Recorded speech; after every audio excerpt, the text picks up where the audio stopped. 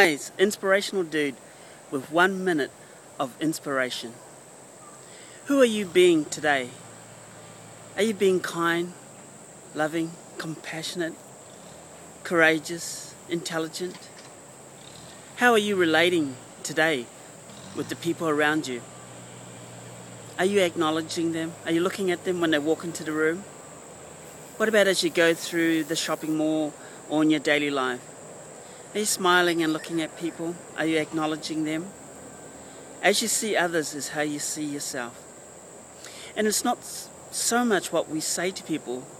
What's more important is how do they feel after engaging with you, after relating with you, after talking with you. How do they feel? Do they feel empowered? Do they feel inspired?